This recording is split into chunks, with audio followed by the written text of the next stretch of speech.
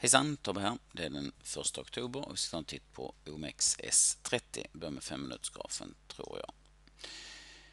Eh, vi ser här att vi fick ett initialt eh, gap neråt. Ett gap på lite mer än en, eh, ska se, dit ner var det. 0,9 procent, sen fortsatte det ner till 1,3 procent som lägst var det. Och om ni tycker att jag var vimsigt, kommer du inte ihåg de nivåerna, så satt jag i bilen hela dagen igår så att det har sin förklaring. Eh, sa jag det att det var eh, tradingklubb idag. Ni kan gå in på aktivbörshandel.se och anmäla er.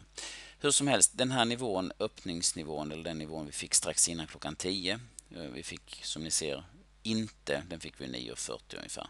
Vi fick ju ingen lägre botten efter klockan 10 eh, och eh, då ska vi inte i normala fall i alla fall inte räkna med att vi ska få en stängningskurs som är lägre än det här. På slutet så hämtade sig, hämtade sig kursen lite grann. Vi fick en stängning med en nedgång på 0,8 procent. Om vi tittar på hur det ser ut i månadsgrafen då eftersom vi nu har ny månad så kan vi konstatera att eh, september månad stängde med en uppgång på 3,7 procent. Vi ser att precis som i S&P 500 så lämnade köparna tillbaks en ganska så betydande del utav uppgången till säljarna. Och vi ser också att i den här zonen som vi har här uppe upp mot 1322, alltså de här topparna från 2007 då, så eh, börjar det nu gå tungt. Vi ser att det är tre månader här nu som vi har haft noteringar kring de här nivåerna och vi, hittills så har eh, köparna inte vågat hålla kvar i taktpinnen och ta ut den här toppen vid 13.22. Men som vi ser här så eh, det är ju inte på något sätt eh, någon negativ. Vi ser att vi har eh, 12 månaders glidande medelvärde här. Det är inget, mm, inget brutalt stort avstånd. Det är inte ohälsosamt stort men det talar för att vi ska få en rekyl ner och testa av det här medelvärdet inom kort i alla fall.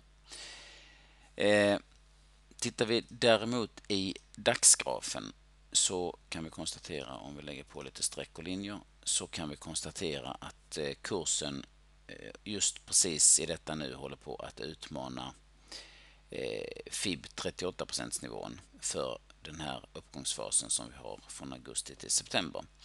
Eh, och igår så fick vi alltså en svans på nedsidan ungefär från 50 dagars glidande medelvärde. Vi befinner oss i det här gap. Vi hade ju tre, ni kommer ihåg att jag pratat om de här tre gapen som vi har här som jag har benämnt som utmattningsgap. Eh, de två har ju täppts till och just nu så utmanas det tredje gapet då ner mot 1250 nivån då, 1249, 1250. Eh, och skulle det vara så att eh, köparna kommer tillbaka här så är det ju positivt. Men vi skulle behöva en eh, Dels så måste den här fallande motståndslinjen tas ut men ännu hellre 1279, 1280 där uppe måste tas ut innan vi ska börja tänka på uppgång. Men då ser ni att då är det inte speciellt långt kvar till årshögsta nivån här uppe. Eh, och den riskkvoten är inte speciellt angenäm vilket innebär att jag tycker vi sitter på händerna även här. Att gå kort, även om nu det korta sentimentet har punkterats i och med att 20 dagars medelvärde har punkterats så eh, har vi ju ingen signal egentligen för. Vi har en indikation, en positiv indikation på att eh, köparna börjar suga upp säljtrycket kring den här zonen. Då. Det är positivt. Men det är inte alls samma sak som att vi har en köpsignal. Eh, utan så länge kursen noteras under den här 1280 nivån och framförallt 20 dagars glidande medelvärde så eh, tycker jag vi sitter på händerna.